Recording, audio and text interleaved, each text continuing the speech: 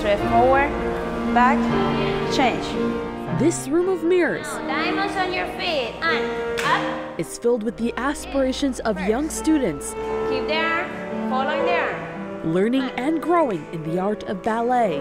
Be clear. Instructing them is a woman whose own journey is blossoming within these brick walls. Good. From nine years old, when I started doing ballet, I knew this is what I want to be, this is what I want to do.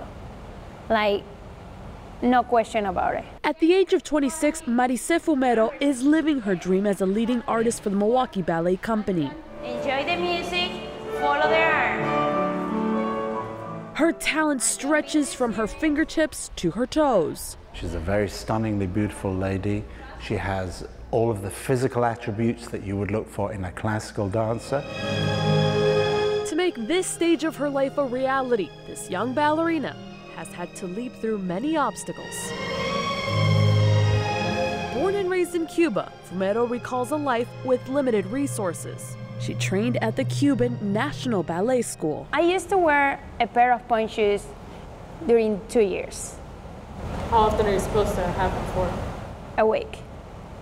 Like right now, I use one pair a week. Her father would fix her shoes as best he could. My dad, he didn't know anything about pointe shoes at all, but he used to fix my shoes. There was no other way. I think I was 12.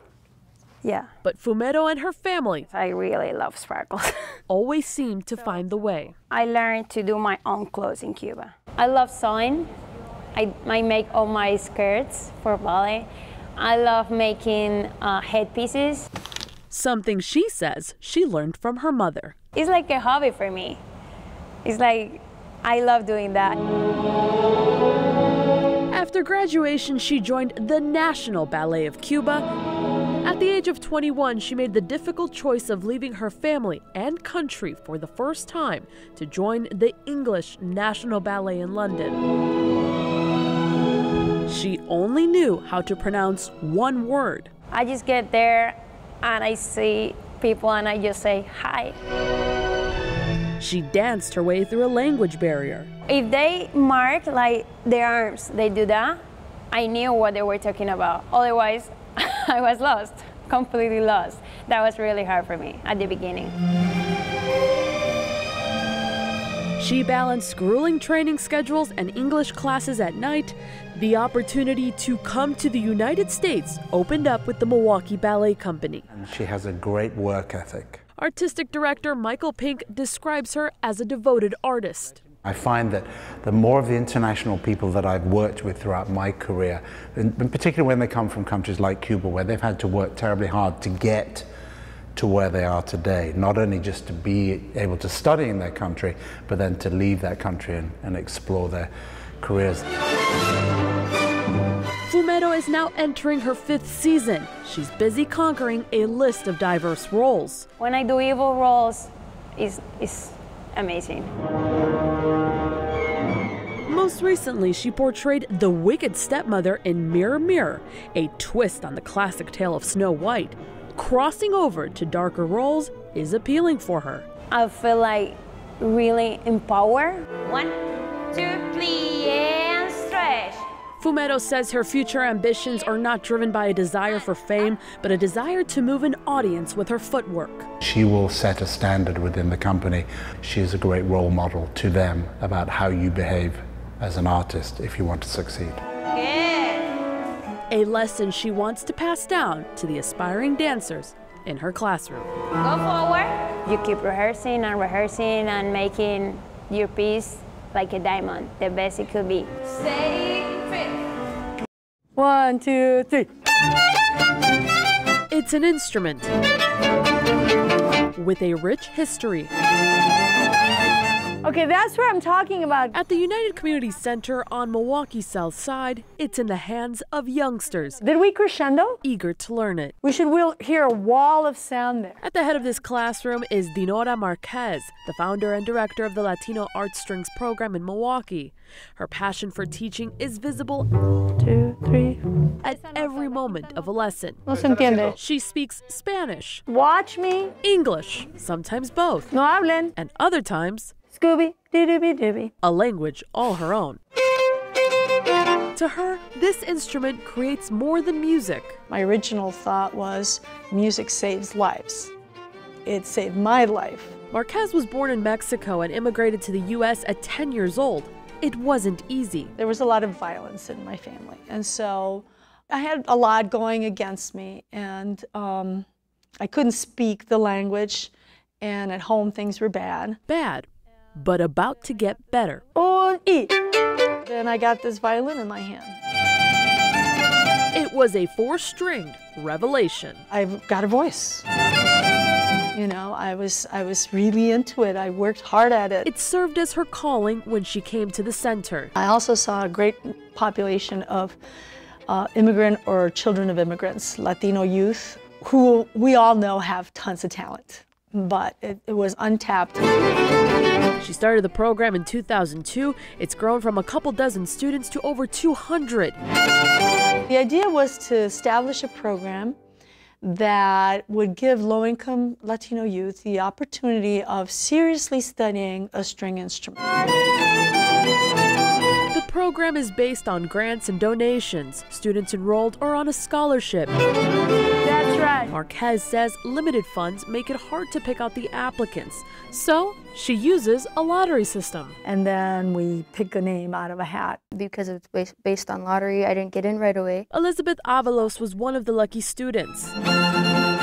She says the violin changed the course of her life. Even as young as first grade, I noticed academically how much it helped me. This is my speed guitar. Avalos says it was a game changer to have a teacher she could relate to. I feel like it just opened up a whole other world for me. It's an experience they share with others at performances like Mexican Fiesta.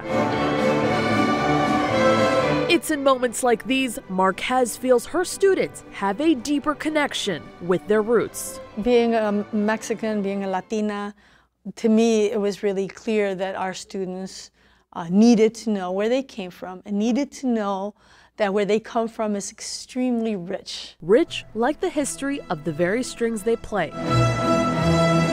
With each song, captivating audiences while learning more about themselves Kids come to know who they are. And they walk out of here with a very strong sense of self identity. because in the right hands, this can truly be an instrument of change. Right, and go. Throw them down. Driven, There you go. determined, and never one to shy away from hard work. I'm more competitive with myself. Like no one, it's a harder judge than myself. There you go. Breathe through them. Marisol Coriano is in the middle of training for a half marathon. Keep that back tall. That's just how she spends her free time. Here you can see the different type of data at a plant level. Her days are typically filled with presentations We're talking about the future, but the future is now. and meetings. And there's a generational difference now. As the Vice President of Human Resources for Rockwell Automation, Coriano supports close to 9,000 employees. I truly decided to go into human resources because I thought that it was matching my strengths better. We have a lot of strong power and my sense of purpose of helping organizations and individuals be the best that they can be, right? She has a lot of different experiences. One of her favorite tasks Her energy, for sure. Yeah, exactly. is encouraging people from all over to consider a STEM career. I will do it for free and I'm very lucky that they pay me to do it. But Coriano recalls a time when the path up the corporate ladder wasn't so clear. Born and raised in San Juan, Puerto Rico, I'm an industrial engineer uh, and I always wanted to complement my industrial engineer with business. she became the first person in her family to pursue a higher degree in the United States. Coming from this little island where we think that that's the center of the universe, She left at the age of 28. I wanted to become fully bilingual, still with the accent, but still fully bilingual. She says she wanted to broaden the world of opportunity, but trying to master the English language was a struggle. I would leave work with a headache every single day. It wasn't until she learned Portuguese that English soon followed. While chasing her dream, it was her first boss, Luisa, that helped her move forward. One thing that, that I appreciate about her is that she gave me a lot of time to study, stretching me to expose me.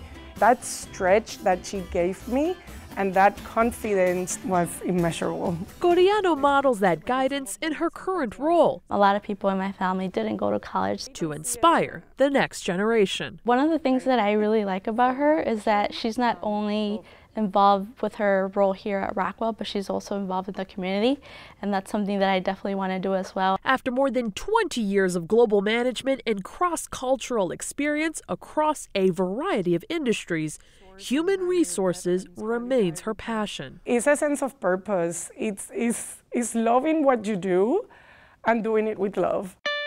With the support of her husband, James, he knew, I think, before me that I could reach these levels. So he's my, you know, our, my biggest fan and supporter. And their family. They're very proud. Welcome in and go. Coriano has no plans of slowing down. That is who I am. In what's become her life mission. Helping others Last one here. get the opportunities that I've been very lucky to have. A trip to the movie theater often transports us to a storyline very different from our own. For some, it's a ritual shared with good company. Thank you. No problem. For Rolando Rodriguez, it became the foundation of his career. We just had a record second quarter. After holding executive level positions at Walmart and other movie companies, I'm the chairman, president, and CEO of Marcus Theatres. How does it feel to say that?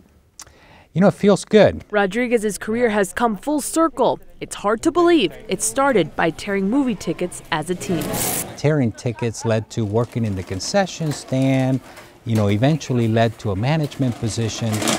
Colleagues say he's one of a kind. Because of his unique experience and exposure, he's always pushing the envelope to think bigger. But his storyboard starts in another country. As you can tell by my accent, I was born in Cuba. Rodriguez, his brother, mother, and father came to the United States when he was 11 years old, but he vividly remembers life under communist rule. The best way I can describe it is that I became a pretty good boxer. The movies became their temporary escape. Every Sunday, every, and I do mean every Sunday, our family went to the movies. During the tough times in Cuba, Rodriguez recalls the words of his father. La pelea que gana es la que nunca debes de tener. Translation The fight you win is the one you never have. What he meant by that is even if you win that fight, the reality is that you just made an enemy. Instead, his parents led by example, showing the value of hard work. Once in the U.S., Rodriguez recalls his parents working multiple jobs to get by, all the while keeping their Sunday family tradition alive. When he tells you that family is everything, family is everything. As he was working the ranks of AMC theaters as a young adult, he met the leading lady of his life, his wife, Maria. That's been absolutely the best thing in my life. She provided us with four amazing, wonderful daughters. She was also the one by his side when he made the decision to go back to school later in his life. It's safe to say she's been there for every plot twist, including the one that unfolded at the time of his graduation. My father finds out that he has cancer.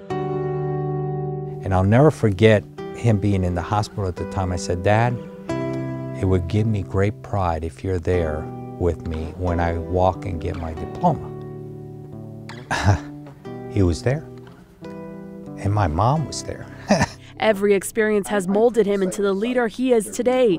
For now, he is enjoying the current storyline of his life a CEO that believes in the power of diversity, how it can strengthen the film business, and how it strengthens a company. He truly cares and gives back and wants to see others succeed, and he wants to share. Uh, what he's learned. Rodriguez helps champion Cine Latino, a film festival under the Marcus Theatre umbrella. This year's film lineup also made history at the Oscars. Incredible pride uh, by the fact that Coco won Best Animated Picture. Uh, the fact that Shape of Water, the director, the best picture of the year, was in essence, you know, a Mexican director. He may have built a life far away from his roots. I am very proud of my Hispanic heritage. Equally as proud to be an American.